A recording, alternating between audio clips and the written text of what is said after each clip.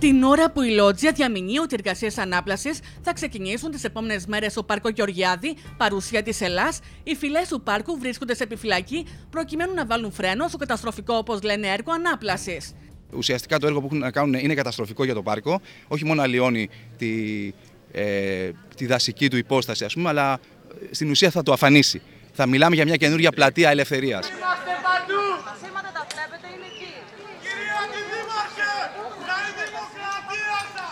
Σε αντίθεση με χθες, το κλίμα είναι ήρεμο, καθώς ο εργολάβος προς το παρόν δεν έκανε την εμφάνισή του μετά το χθεσινό πολεμικό σκηνικό εντός και εκτός του πάρκου μεταξύ φυλών του πάρκου και ΜΑΤ, όπου φαίνεται να υπήρξαν δύο τραυματισμοί αστυνομικών από τις συγκρούσεις και συμπλοκές. Απαράδεκτες. Απαράδεκτες να Δεν μπορεί να είναι 10 άτομα, 20 άτομα, δεν ξέρω πόσο είναι εκεί, να θέλουν να, να σταματήσουν το έργο. Εγώ νομίζω θα κάνουν κάτι καλό. Όταν γίνεται κάτι που δεν είναι σωστό, οπωσδήποτε ο λαός αντιδράσει. Α κάνει κάτι σωστό να χειροκροτάει, όχι αντιδράει να χειροκροτάει με τις πέτρες. Αλλά όχι να κόψει δέντρα. Ντροπή σε αυτά που κάνουν. Να κάνει κάτι σωστό να κάνει και όχι να κάνει πράγματα που δεν πρέπει. Έκρηθμη η κατάσταση ήταν, φωνάζανε. Οι οδηγίες του εισαγγελέα ήταν να γίνει απομάχηση των πολιτών με όμορφο τρόπο. Δηλαδή χωρίς σφοδρή σύγκρουση, χωρίς βία, χωρίς τραυματισμό. Αλλά είχαμε τελικά σύγκρουση, κύριε Πατακιά. Όταν επιτίθενται οι πολίτες, η ομάδα των πολιτών που αντιδρά, η αστυνομία είναι υποχρεωμένη να αμυνθεί. Τα δέντρα θα μείνουν, θα φύγετε εσείς. Χθες στο Πάρκο Γεωργιάδης, οι συμπολίτες μας δέχτηκαν επίθεση από την αστυνομία. Κατά τη διάρκεια της ημέρας έγιναν 12 προσαγωγές στους γύρω δρόμου, εκ των οποίων η μία μετατράπηκε σε σύλληψη, παρόλο που είχαν ταυτότητα μαζί τους.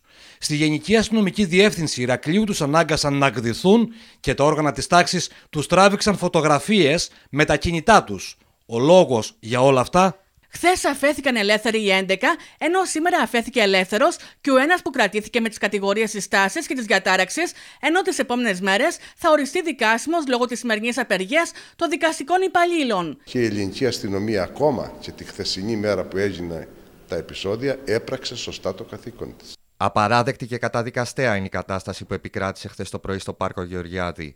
Η Δημοτική Αρχή με τη συμβολή των ΜΑΤ προσπάθησε να επιβάλλει την έναρξη των εργασιών ανάπλασης του πάρκου από τον εργολάβο. Αρκετοί πολίτες καταδικάζουν τα χθεσινά επεισόδια, εκφράζοντας παράλληλα την άποψή τους για το τι πάρκο θα ήθελαν, αφήνοντας εχμέ για τη μη συντήρησή του εδώ και χρόνια και τραβώντας κόκκινη γραμμή στο ενδεχόμενο κοπής δέντρων. Εγγυάται ότι δεν θα κοπούνε δέντρα και τον ακούει ο κόσμος, δηλαδή θα κοπούνε τα δέντρα. Φυσικά να μορφήνει με πράσινο πολύ, αλλά από ό,τι άκουσα θα κόψουν τα δέντρα. Εδώ κάνουμε αμάγια το πράσινο.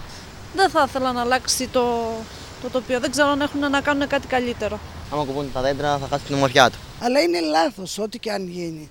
Πρέπει να παραμείνει όπως είναι. Ό,τι έχει καταστρεφεί και πρέπει να κοπεί, πρέπει να κοπεί. Δεν συμφωνούμε για να κοπούν, αλλά το να τα κλαδέψουν, να τα χαμηλώσουν και να διαμορφώσουν το χώρο, καλό θα είναι και η παιδική χαρά να γίνει καλύτερη. Αναφορικά με το κλίμα δυσαρέσκειας που φαίνεται να επικρατεί στους κόλπους της Ελλάδα για την απουσία ενημέρωσης από τη Δημοτική Αρχή, καθώς αυτό που γνώριζαν ήταν ότι ο εργολάβος θα ξεκινούσε τη Δευτέρα και όχι χθες, ο Μαρίνος Πατακός υποστήριξε. Η ελληνική αστυνομία είχε ενημερωθεί εγγράφο ότι το έργο ξεκινάει τις εργασίες για την ανάπλαση του Πάρκου Γεωργιάδη την Τρίτη. Από εκεί και πέρα δεν ξεκίνησε την Τρίτη, ξεκίνησε την Τετάρτη. Καλούμε το Δήμο να ακυρώσει τη μελέτη εφαρμογής και να ξεκινήσει τη δημόσια διαβούλευση για μια νέα μελέτη όπου θα συζητηθούν όλα εξ αρχής. Δεν έχουμε την πολυτέλεια στο Ηράκλειο να παίζουμε με το ελάχιστο πράσινο που έχει απομείνει.